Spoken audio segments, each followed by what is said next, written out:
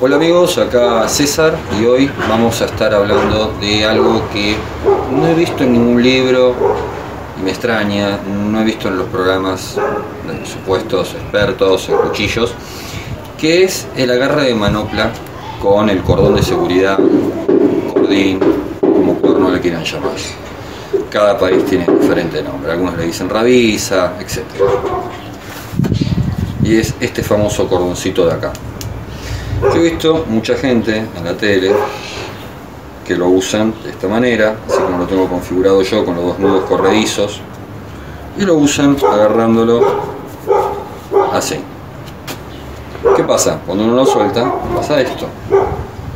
Si uno está haciendo el golpe, lo más seguro es que se lo dé en la pierna. Así que, ¿qué sentido tiene? Esto así lo usaban los pescadores en los barcos, lo usan los pescadores en los barcos para no perder el cuchillo y que no se les caiga el agua. Pero la realidad es que hay un método mucho más simple, mucho más efectivo de usarlo y que impide que el cuchillo se nos salga de la mano. Primero, antes que nada, tienen que entender una cosita. Un cuchillo no se usa para machetear. Y odio esa palabra, machetear. Para cortar por golpe. Un chopper se usa para cortar por golpe. Un machete se usa para cortar, cortar por golpe. No un cuchillo. Ahora, si tenemos que usarlo, lo más seguro que podemos hacer es tener configurado así con dos nudos corredizos. Uno lo ponen acá, el otro lo vamos a dejar un poquito más suelto. Lo vamos a pasar así.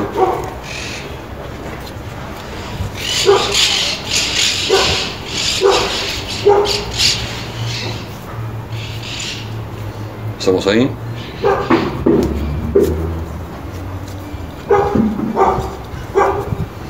Pasamos el cordón hasta acá. Está prácticamente el recaso del cuchillo. Y hacemos esto que se llama agarre de manopla.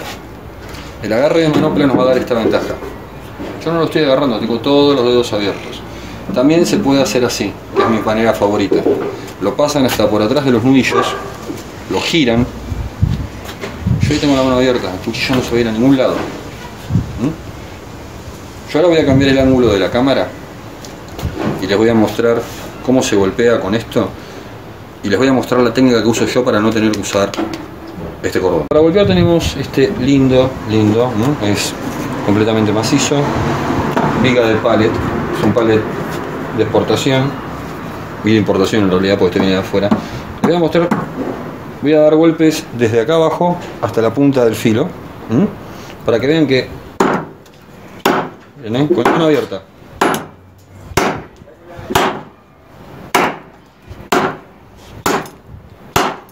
y el cuchillo no se sale de la mano. Lo mismo si lo usan así. El cuchillo nunca se le va a ir de la mano. Miren que lo estoy haciendo con los dedos abiertos. ¿eh? Ahora, la técnica que uso yo, ustedes saben que yo siempre uso choppers, soy fanático de los choppers.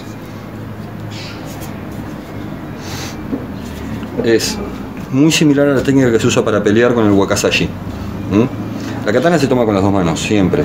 Pero el wakasashi se toma con una. Entonces, este dedo se puede poner acá. Y este dedo va libre. Y el filo se lo deja moverse en la mano. Y cuando bajamos, ahí afirmamos.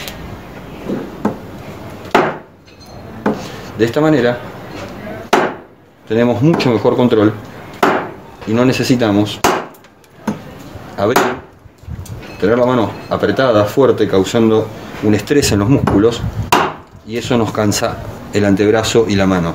Así podemos golpear todo el día sin ningún problema.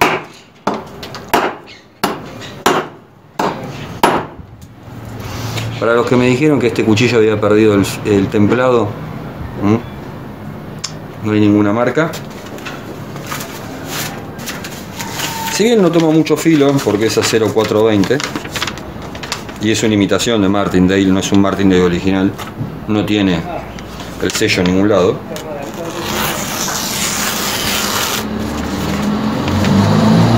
Como pueden ver,